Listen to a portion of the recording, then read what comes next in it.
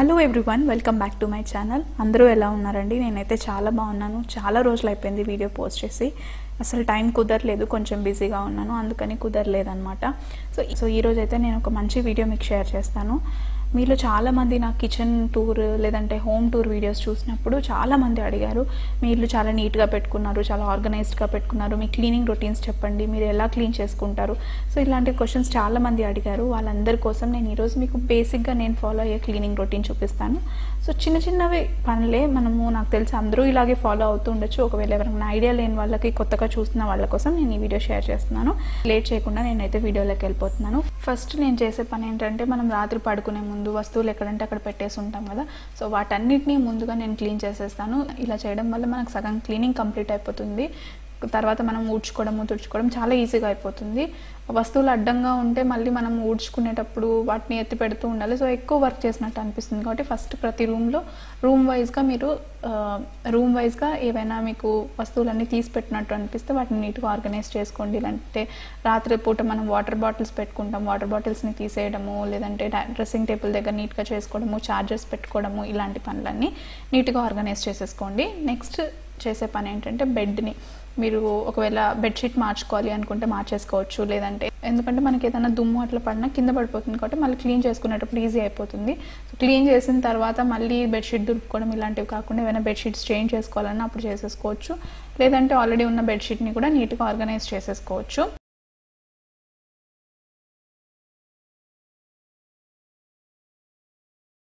Bedsheet నీట్గా fold చేసుకొని పిల్లోస్ని కూడా నీట్గా అరేంజ్ చేసుకోవాలి. సో సగం క్లీనింగ్ అనేది కంప్లీట్ అయిపోతుంది నిజంగానే. దీంతో పాటు నెక్స్ట్ సోఫా కానీ అదర్ ఫర్నిచర్ అంటే డ్రెస్సింగ్ టేబుల్ డైనింగ్ టేబుల్ ఇలాంటివి ఏమైనా ఫర్నిచర్ ఉన్నా కూడా వాటిని క్లీన్ చేసుకోండి. ఎందుకంటే రాత్రి మనం టీవీ చూసుకుంటూ లేదంటే అనేటప్పుడు సో ఇట్లా సోఫాస్ అన్నీ చూడండి.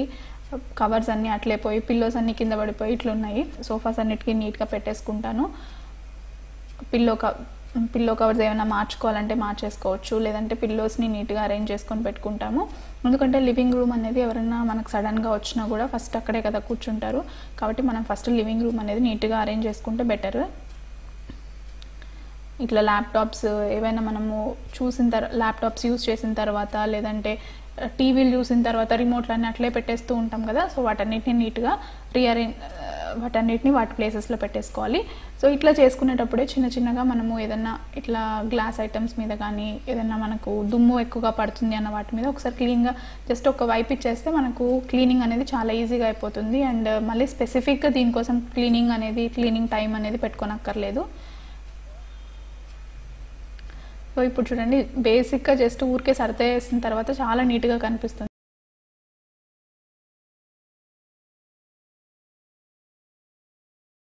నెక్స్ట్ వచ్చేసి మనము స్నానం చేసిన వెంటనే లేదంటే టవల్స్ యూస్ చేసిన వెంటనే ఎక్కడంటే అక్కడ పడేస్తూ ఉంటాము. బాత్రూమ్స్లో బట్టలు బట్టలు హ్యాంగ్ చేసి ఉంటాము. సో వాటన్నిటిని తెచ్చి లాండ్రీ బిన్స్లో లాండ్రీ బిన్స్లో పెట్టేసేయాలి. ఎందుకంటే అక్కడక్కడ బట్టలు ఉన్నా కూడా చాలా చిరాగ్గా కనిపిస్తూ ఉంటుంది.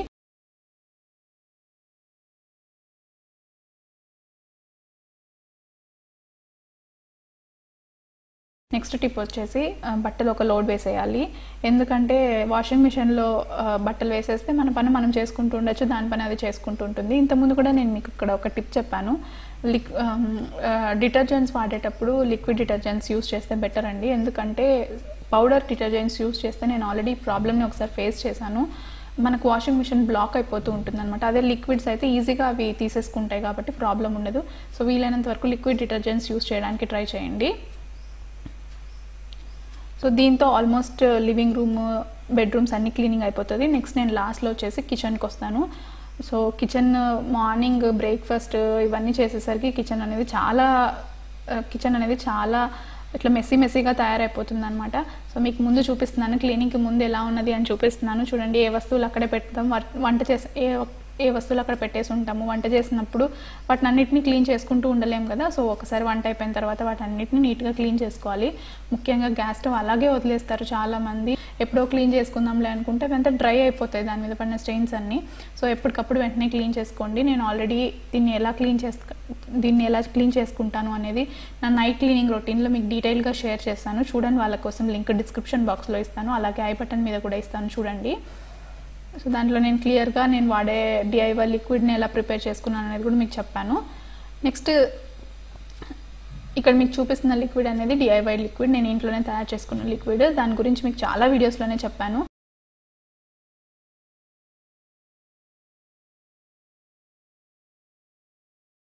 నెక్స్ట్ కౌంటర్ టాప్ దాని వెనకాల ఉన్న టైల్స్ వాటన్నిటిని క్లీన్ చేసుకుంటాను.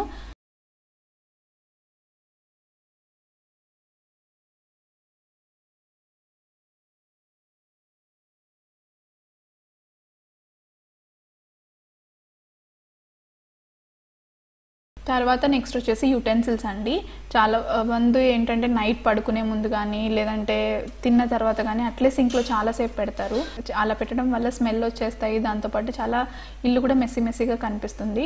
ఎప్పుడప్పుడు కొద్ది కొద్దిగా అయినా కూడా క్లీన్ చేసేసుకుంటే మనకు పని తగ్గుతుంది. ఒకవేళ మెయిడ్ ఎవరైనా వస్తారు అనుకున్న వాళ్ళైతే వాటన్నిటిని అందులో ఉన్న వేస్ట్ అన్నిటిని తీసేసి కొంచెం వాటర్లో నానబెట్టి పెడితే తర్వాత క్లీన్ చేసుకోవడానికి కూడా ఈజీగా ఉంటుంది. తర్వాత మనము సింక్ ఏరియాని కూడా చాలా నీట్గా క్లీన్ చేసుకోవాలి. సింక్ ఏరియాను ట్యాప్స్ని ఒక్కసారి చిన్న వెంటనే క్లీన్ చేసేసుకుంటే తర్వాత మనకు పని అనేది ఏమి ఉండదు. తర్వాత తర్వాత క్లీన్ చేసిన బ్రషెస్ని కిచెన్లోనే పెట్టకుండా కొంచెం ఎండకు పెడితే బ్యాక్టీరియా ఏదైనా కూడా చనిపోతుంది.